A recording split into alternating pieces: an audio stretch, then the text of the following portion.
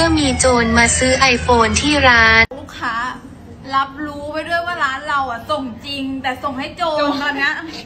เราไม่ใช่โจรเนอะเราโดนปล้นนะครับตอนเนี้ย คลิปนี้มีโจรค่ะทุกคน เรื่องเป็นแบบนี้ค่ะ เมื่อไม่กี่วันที่ผ่านมานะคะ มีลูกค้าทักมาซื้อสด iPhone 14 Pro ร้านเราก็ตอบแชทแล้วก็ขายของให้ลูกค้าปกติเลยนะคะ แต่ความพีคมันอยู่ตรงนี้ค่ะ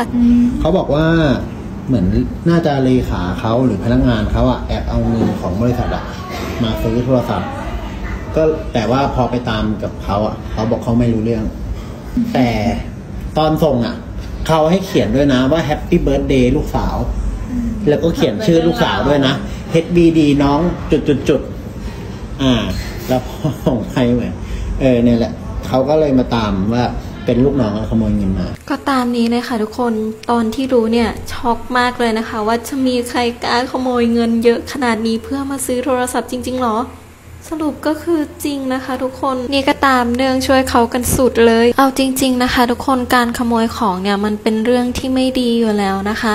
น้องๆที่ดูคลิปนี้เนี่ย ห้ามทำเด็ดขาดเลยนะ ถ้าเกิดว่าผู้ปกครองไม่ได้อนุญาตให้เรามาเปิดผ่อนนะคะ เราก็ต้องตั้งใจนะคะ แสดงตัวเองพิสูจน์ตัวเองให้ผู้ปกครองได้เห็นนะคะ ว่าเรามีความรับผิดชอบที่จะผ่อนต่อจนหมด โดยที่ไม่เดือดร้อนผู้ปกครองนะคะ นี่เห็นไหมคะทุกคนพอทำผิดเนี่ยอยู่ไม่สุขแน่นอน ยังไงก็ต้องโดนจับนะคะ สุดท้ายนี้ขอเตือนหน่อยนะคะ อย่าทำแบบนี้กันเลยนะ คนที่เขาโดนเนี่ยเขาเดือดร้อนนะทุกคน อย่าเป็นส่วนหนึ่งที่ทำให้ใครต้องลำบากเลย ลูกค้า รับรู้ไปด้วยว่าร้านเราอะส่งจริง